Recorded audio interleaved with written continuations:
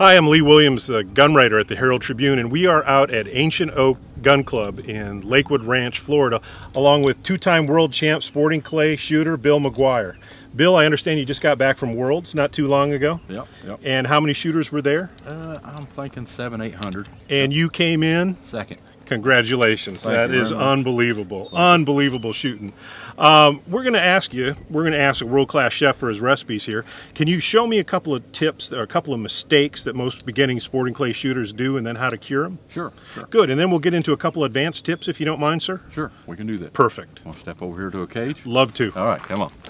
There's two things I see a lot of the beginners do that, that gets them in a little trouble is uh, not a good visual connection on the target early Okay. enough, you know, being consistent where they see the target. And probably the most common thing I see them do is bad gun position. Okay. Okay, and what I mean by that, and we'll throw a target, and if, I don't know if we can get a, a picture of the target, but say the target line is up here. Most of them, we're guns empty, so we're, we're safe here, but we'll start the gun too low, Okay. way too far under the target line. So a little better gun position, little better visual connection on the target earlier Okay. makes breaking these birds a little easier. We're starting here, I'm gonna try to get the muzzle up on that target line a little better, okay? And then good visual connection on the target when it comes out of the machine. Okay. Pull.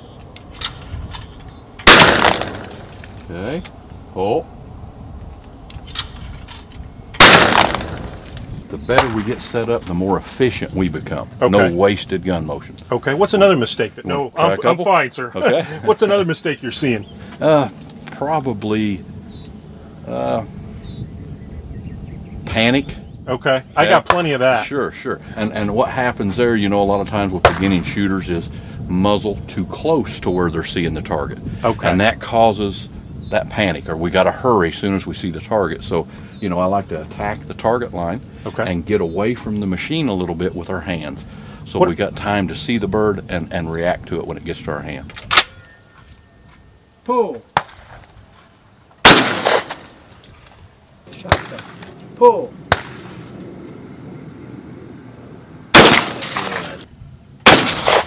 Real good. Pull. Danny. Pretty. That's it. Connected. Good. What are some of the uh, uh, tips that, uh, more advanced tips that a, a, a seasoned shooter? Sure, sure. be And, and. I've put a lot of emphasis here again. It goes back to that target line. Okay. You know, I'm very, very specific in target line. I want that muzzle exactly in the way of that target. And there again, you know, uh, the, the, probably the the biggest thing that we that we don't do is finish the shot visually. We've got to learn to, to look at the bird, and I always use uh, the reference of a clock. You know, whichever way that target's moving, I can relate that to a number on the face of a clock.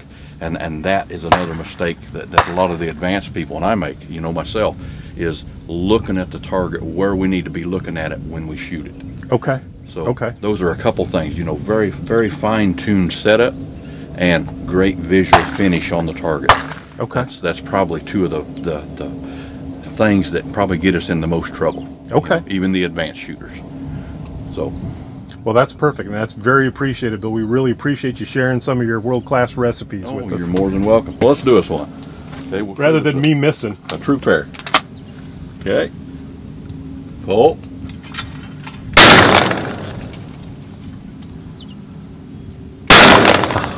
I could watch that all day. Thank Well, you, sir. Thank you. Thank you. My pleasure.